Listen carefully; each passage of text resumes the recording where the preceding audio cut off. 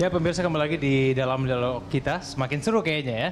Semakin panas. Iya, Nah Siti Ya mungkin kan masih sebelumnya- pengen curhat lagi mungkin mengenai keluarga dan keuangan. Sebelumnya saya mau nanya dulu sama Igan. Igan selama ini kalau punya penghasilan entah Ya. dari kantor, entah dari side job yang lainnya itu selalu terbuka nggak sama istri? Pasti dong. Pasti terbuka. Pasti terbuka. Memang harus seperti itu, Mbak Mira. Harus terbuka.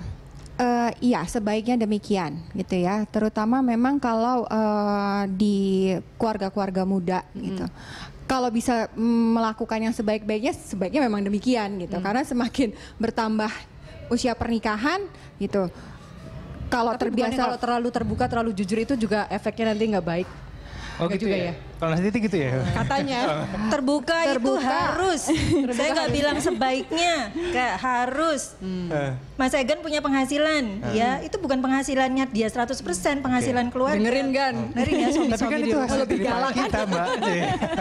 Tapi saya mau Bu Mira, ini iya. nih se- eh, saya melanjuti pertanyaan tadi Nastiti tadi. Kalau misalnya terlalu terbuka, semua dibuka gini, tapi kemudian itu kan memang hak untuk keluarga. Tapi kan suami juga berhak dong untuk mendapatkan sedikit untuk dirinya sendiri. Betul. Nah, nah itu Nah, dengan Nggak apa-apa terbukanya itu ada lanjutannya, Hmm. gitu kan? Diharapkan dengan terbuka masing-masing pun mampu bersikap dewasa untuk ya itu tadi membagi misalnya kamu butuhnya berapa untuk beli apa tadi Tamiya gitu kan berapa untuk beli sepatu dan tas gitu Oke. kan nah itu akhirnya eh, dewasa terbuka lalu juga ya itu tadi saling Oke. kompromi jadi kalau udah Hmm. kompromi itu udah levelnya udah cukup eh, tinggi gitu Oke, Bu Mika saya nanya nih, kalau dari penghasilan suami berapa persen, bera- eh, ada hitungannya nggak berapa persen yang berapa untuk keluarga, berapa untuk suaminya 100% sendiri, ya kesenangan suami jawabannya. sendiri. Nah itu ada hitungannya nggak? Ada udah kasih 5% buat jajan. Waduh,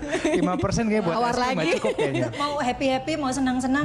Soalnya suami kan udah kerja ya. Hmm. Sama misalnya saya juga sebagai istri kerja. Saya kan juga perlu hang out gitu loh sama teman-teman gitu ya ceritanya walaupun Perlu gaul. perlu begaul lah gitu.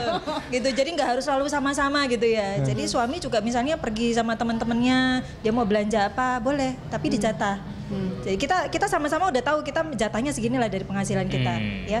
Tapi penghasilan suami, penghasilan istri keduanya itu harus saling tahu berapa jumlahnya sampai detailnya. Pengeluaran keluarga untuk apa aja sampai jajan-jajannya kita harus saling kompak. Oke. Nah, kompak itu bisa ada selaras kalau saling terbuka dulu. Hmm, tapi persentasenya itu nggak ada ya patokannya. Itu itu cuma tergantung. 5% kan, udah 5%.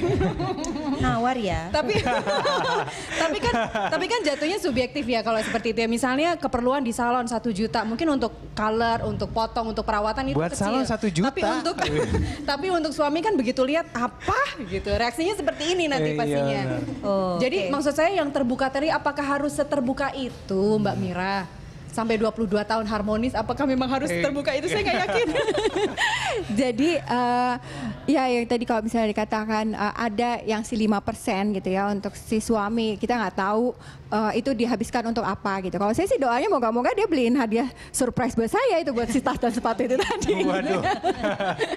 Jadi ya ada ruang yang eh, kita beri keleluasaan gitu ya. Kita tahu nilainya si 5% itu tapi untuk apanya mungkin ya itu kita cukup doakan saja Nah, gitu. di, lagi. di kebudayaan kita kan duit itu uh, apa uh, the most sensitive issue ya. Jadi kalau pas lagi pacaran kan nggak mungkin kita ngomongin nanti penghasilanmu buat aku semua loh mas jangan lupa misalnya ya hal-hal seperti itu. Kemudian begitu menikah uh, belum punya anak, anak belum sekolah, kan kebutuhannya semakin lama semakin meningkat. Bagaimana cara memulai untuk mengkomunikasikan masalah keuangan ini? Kalau memang si suami jadinya malah dia menyendiri, malah sibuk dengan koleksi eh, hobinya misalnya seperti itu. Jadi seperti apa Mbak? Kita harus datang ke orang-orang seperti Mbak Mbak Mika atau datang ke siapa begitu?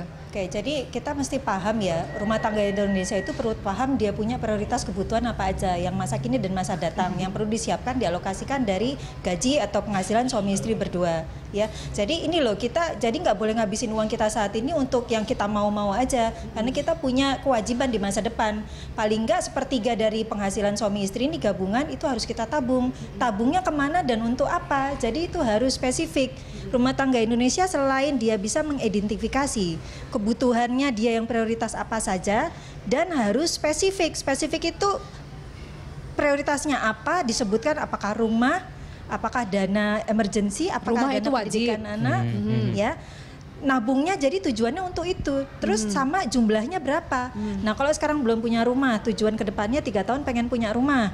Rumahnya di mana, harganya berapa, Cicilannya berapa? cicilannya berapa? lama? berapa, semuanya harus spesifik sehingga suami istri itu kalau dulu waktu masih pacaran ya dia ngedate lah istilahnya. Tapi kalau udah suami istri itu tetap pacaran. Pacarannya itu ya sambil ngomongin tentang keuangan keluarga. Kok jadi enak lebih lebih enak zaman pacaran ya kan dibayarin terus. ya nggak? Kalau ini sekarang kan sama-sama ya, tapi kan penghasilannya jadi lebih besar karena gabungan suami istri ya. Oke. Jadi harus membiasakan punya tujuan bersama-sama. Ya. Itulah komprominya di situ. Kalau misalnya istrinya nggak bekerja gimana nih, Mbak? Berarti penghasilan kan satu-satunya sementara waktu ya. Hanya memang saya selalu sangat menyarankan rumah tangga Indonesia itu penghasilan jangan cuma satu, tetapi harus punya sampingan dua atau tiga itu lebih baik. Suami istri tidak perlu bekerja di kantor dua-duanya. Misalnya salah satu misalnya eh, merintis bisnis ya dari rumah. Nah itu akan sangat apa ya eh, meringankan banyak biaya-biaya yang kemungkinan bisa terjadi kalau ternyata eh, dua-duanya bekerja. Harus ada ongkos transport. Kalau dari rumah kan banyak biaya yang bisa ditekan. Gitu. Oke. Jadi satu-satunya solusi komunikasi dalam hal ini Mbak Mira dengan harus pasangan. kalau itu dari saya harus jawabannya. Dan bagaimana cara eh, akhirnya memulai yang rasanya nggak nyaman nih ngomongin masalah duit, nggak akan pernah nyaman rasanya ya, tapi harus gimana cara memulainya?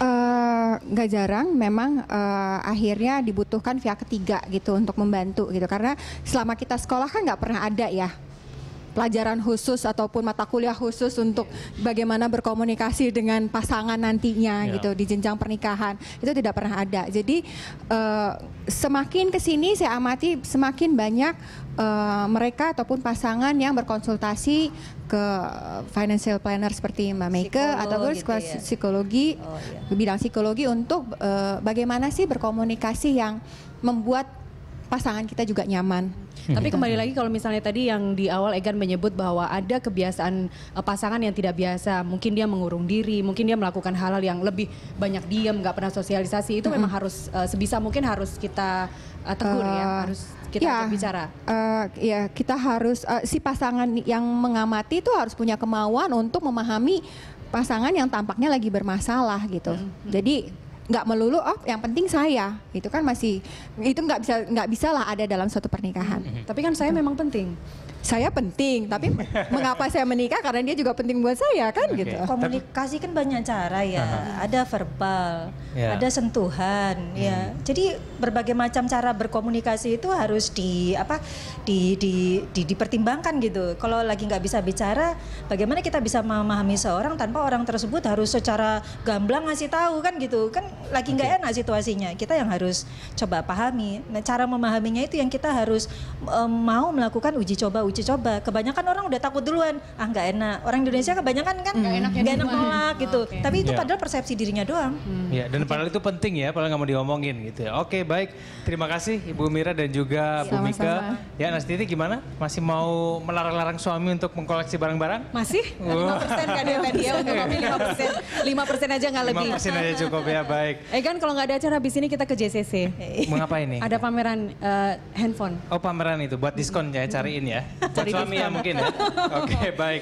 Pemirsa dialog tadi mengakhiri perjumpaan kita di Ya. program Talk. Saksikan terus program ini pada pukul 13 sampai 14 waktu Indonesia bagian Barat. Saya Kevin Egan. Dan saya Nasi Lestari, terima kasih. Selamat berakhir pekan. Sampai jumpa. Sampai jumpa. Terima kasih.